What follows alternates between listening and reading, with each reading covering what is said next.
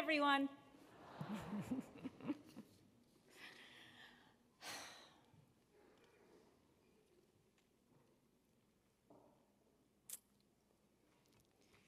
so, after this difficult year, I'm reminded of a shtetl joke.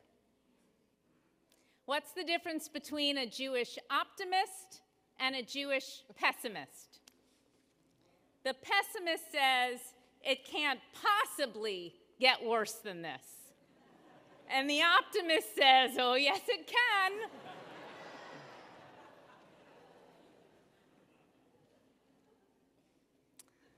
yeah.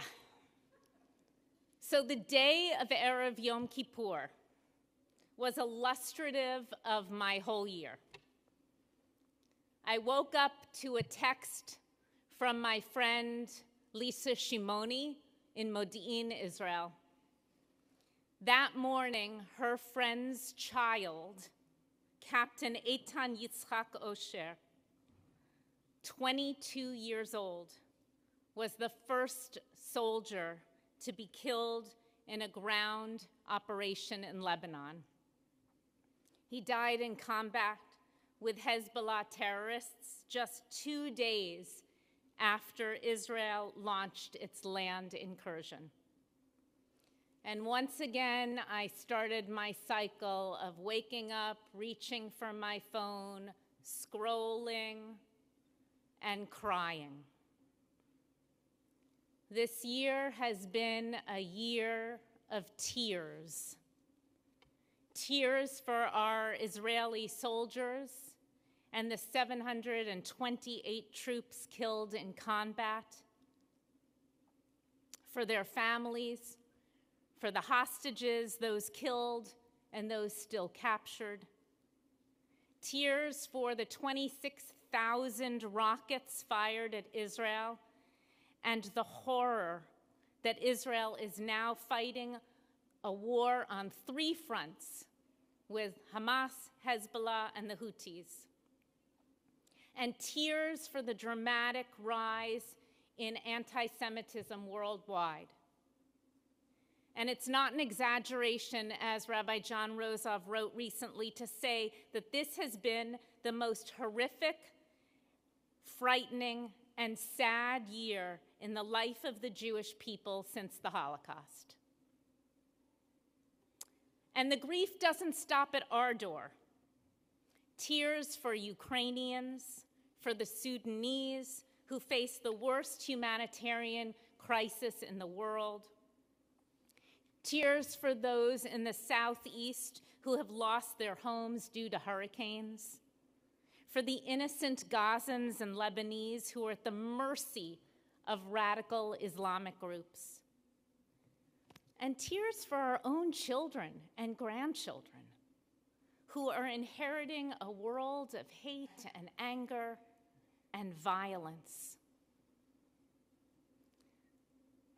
This year has left a large open wound in our hearts, and we're still bleeding no matter if what your politics are, whether you're a Jew, you love a Jew, or simply you're a living, breathing human being, I imagine part of you is shattered this year.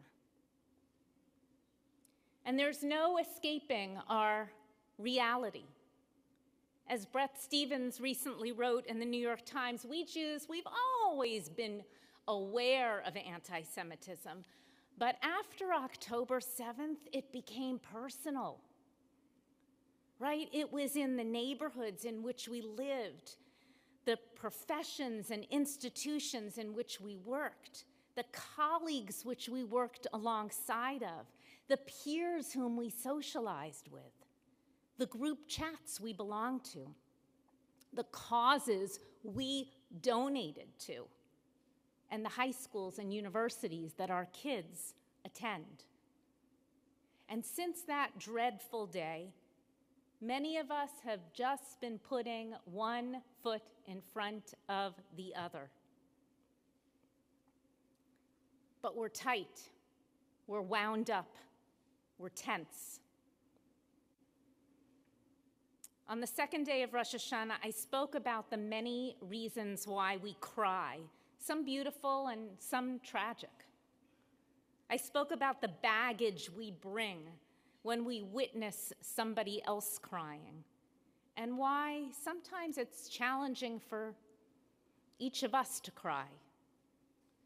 We looked at the biggest crier in the whole Hebrew Bible, King David and the first person to cry in the Torah, Hagar, whose tears saved her son's life. And if you haven't heard my second day sermon, well, it's online. Watch me. But today, we're going to go deeper. Based on Torah, we're going to look at different texts and commentaries about how crying has served the Jewish people over the centuries and how we can hold our pain with our joy. And to be clear, my intention is not to get us crying, but to honor the tears that so many of us have shed this year in anger and confusion, in frustration, in deep disappointment, and of course, in mourning.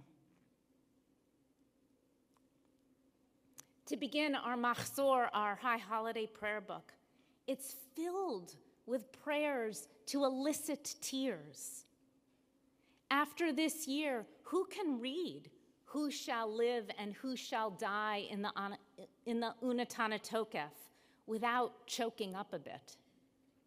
And who can read Avinu Malkeinu, wipe out every oppressor and adversary without our hearts sinking? And during these challenging times, who can listen to the shofar's cry without appreciating the Talmudic teaching that the ram's horn is supposed to sound like the sobs of someone deeply wailing for help. Yet for some of us, the machzor might be an impediment to an open heart. And in that case, remember what the Talmud and Zohar teach that if we can't pray, the gates of tears are always open, and that there's a heavenly mystical place called the Palace of Tears that no one can gain entrance to except if you're crying. So, right now, if the machzor doesn't move you, and you can quote me on this for the rest of the day, close your machzor and open your hearts. Because ultimately, our goal is to swim in the palace of God's tears, however we each get there. And I have to give it to the testosterone laden rabbis of the Talmud. They modeled crying for us. They go on pages and pages about all the things that make them cry. Rabbis Ami and Asi lament that there's no guarantee things work out well, even when we suffer and try to live a righteous life. And Rav Yosef wails because not only do people die young, but also for no logical reason. And then there's Ra- Rabbi Yochanan, who breaks down because bad things often multiply out of control. I think we can all relate to that this year. But I'm also thinking about Ecclesiastes. Maybe you're singing the song in your head too, right? There's a time for everything under the sun a time for weeping and a time for laughing, a time for wailing and a time for dancing. But why? What is this text saying? That the laughing will one day outweigh the weeping? That our dancing will one day make us forget our wailing? I don't know about you, but I don't buy that theology. What's the purpose of all the tears we've shed this year, both individually and collectively? And besides that, do our tears make a difference? On Yom Kippur morning, it's actually traditional to recite Psalm 130. And it begins, Mima'amikim karatiya, from out of the depths I call, I cry to you. Tears from our depths are deep, they're raw, they're unfiltered, they're an expression of the heart. And when we release our tears from our depths, we become one with the universe. Let me explain. Did you know that humans are the only mammals to shed tears? And our bodies are 70% salt water. And our blood plasma matches with the seawater 98%. So when we cry from our depths, we become one with the earth, embraced, absorbed into something greater than us. Crying is our way of becoming an ocean, returning to the womb, to the primordial waters of creation itself. Which also explains why this afternoon we read from the book of Jonah Jonah wants to run away from his obligations, and instead he's thrown overboard, surrounded by a huge tear, the ocean, and he sinks deep down to a dark place of depression. And when he reaches the Ma'amikim, the depths, Jonah prays to the eternal from the belly of the fish saying, In my trouble, I cried out to God. Notice when he hits rock bottom, that's when not only he's surrounded by one big tear, but he cries himself, and those tears allow him to take charge of his life and to take action. His tears don't paralyze him, they clarify for him what's important. I'm reminded of countless inspiring Israelis this year who, in the midst of their tears, did just that. They took action. They created makeshift kitchens throughout the country to feed soldiers and displaced families. They turned hotels into classrooms in the middle of the desert. And strangers, literally strangers, went from house to house to make sure that people would have a minyan in order to say Kaddish for their loved ones. Our people were beaten down, the air was punched out of us, and we got up we became a shofar. We became a shofar. Chaim of Chernowitz, an 18th century Ukrainian Hasidic rabbi, taught that the shofar illustrates how each of us can leave our narrow, tight places and emerge changed, open to new possibility. Because Think about it. The shofar sound emanates from a confined, small little place, a mouthpiece. And then with power and precision, air goes through it, and the sound reaches an open space, spreads and grows in strength, ascending higher and higher. Our own private and collective sobs, like the shofar's cry, can move us higher and higher. So if tears, if tears can be clarifying like Jonah, and they can be expansive like the shofar, how can we access our tears if they don't flow easily?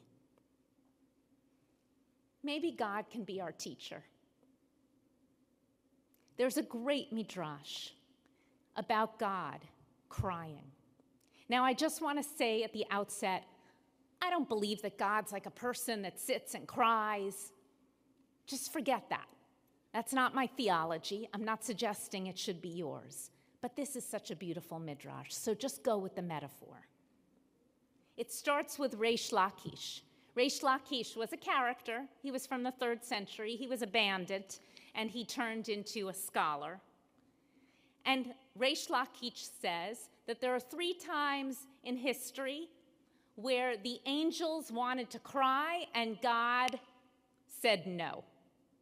One of them was at the time of the destruction of the temple. And at that moment, God cried, Let me weep bitterly, don't comfort me.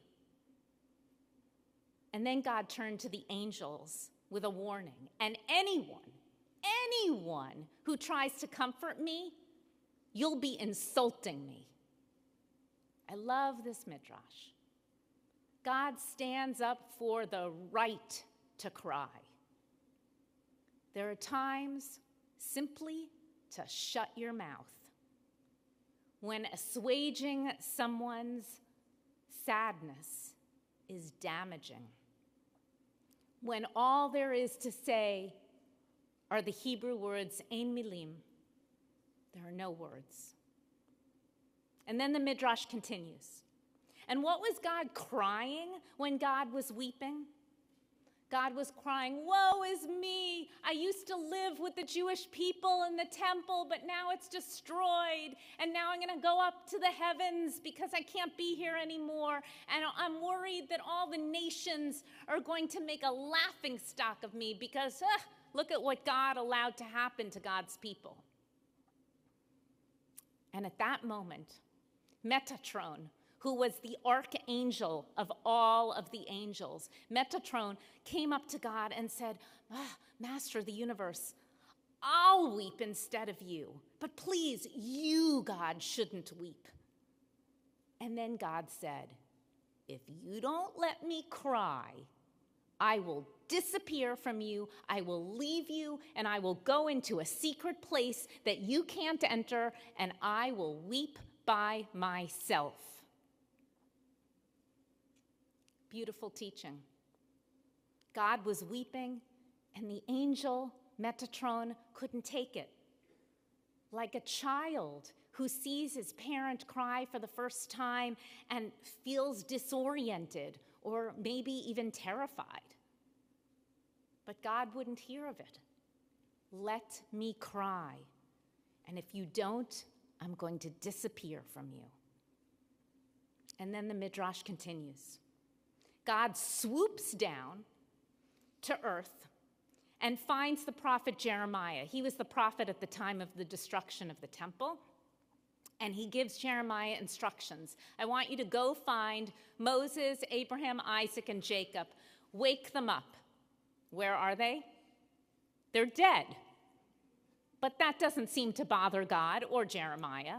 So he goes and he gets them from their graves, and they're a little disoriented, and they're like, What's going on? And God says, I know that you know how to weep. And then God tells them about the destruction of the temple, and they weep and scream all together. So beautiful. God models for us the importance of crying and doing so in community.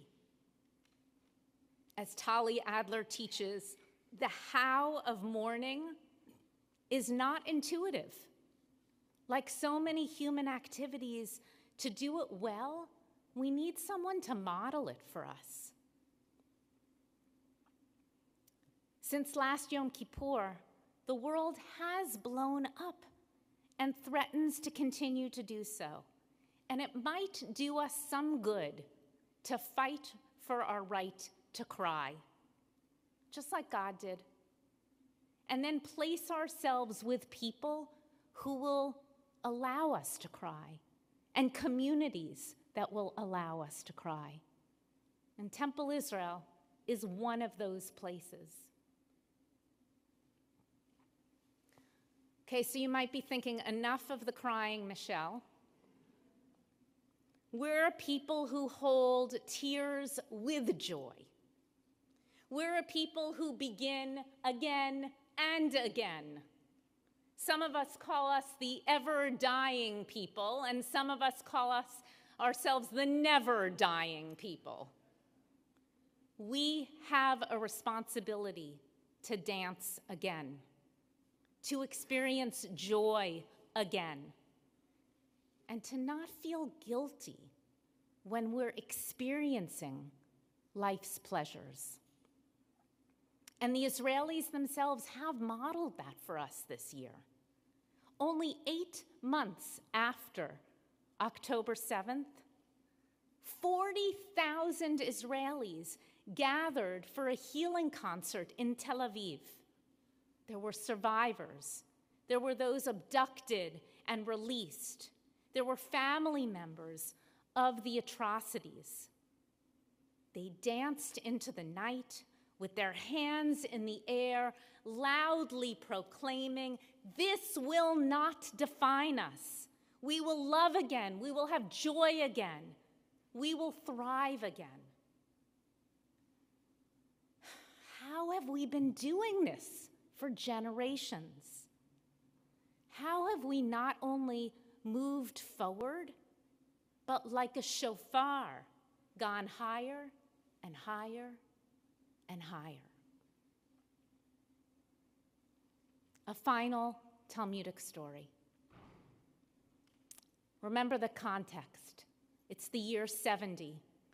The Romans waged war of annihilation and humiliation against the Jews. They slaughtered the uh, old, the young, the men, the women. Most of those who weren't murdered died from starvation or were brought in chains to Rome to be enslaved, debased, or degraded. Then the Romans burned the temple. This, in our Jewish history, is referred to as the Churban, the time of total destruction and catastrophe. And as the trauma was rippling through our community in the year 70, and the horror of what happened was sinking in, some survivors became ascetics. How could we possibly eat meat, they, they reasoned, which was sacrificed in the temple on the altar, or drink wine, which was poured as a libation? when every bite and every sip reminds us of the destruction. Essentially, they were rejecting the joys of life because they couldn't imagine holding joy and pain at the same time. So listen to what Rabbi Yehoshua said. Okay, all right, no meat, no wine. But then, you know what? You really ought to stop eating bread too. Because don't you remember the temple offerings? It always came with bread. Oh, yeah, okay. So we'll stop eating bread, they said. Okay, we'll just have fruit and vegetables. Oh, yeah, no, sorry, said Rabbi Yehoshua. Yeah, you shouldn't really eat fruit either, because don't you remember the first fruits that used to be brought to the temple as well? And you know what? You probably shouldn't uh, drink water either, because you remember those water libations? Mmm. Stumped. They were silent. Rabbi Yehoshua had some advice. My children, he said, hear me out. You must mourn. It's impossible not to mourn. But to mourn too much to live in perpetual devastation, that's also wrong. Instead, the challenge is to grieve and to live. And how do we hold that tension? Rabbi Yehoshua actually had some practical gu- guidelines. When we paint our homes, leave a little patch unpainted, unfinished, right by the entrance. And when we prepare a feast, leave off one delicacy. And when we get dressed, leave off one piece of jewelry. Yes, that's how we live. It's impossible to shake the pain of this past year, and we're still in it, and it's going to continue. But we can't constantly cry. This year, this year, may we find the strength to cry and dance, to weep and laugh, to wail and celebrate. Perhaps not at the same time, perhaps, maybe in the same week, maybe in the same day or hour or even minute. Because life and living is an art. And though the tears may be falling on each of our canvases, we're the artist, and the paintbrush is in each of our hands. May this year be a better year. Gamar Chatima Tova to each of you and to all of your loved ones, and may we go higher and higher. Amen.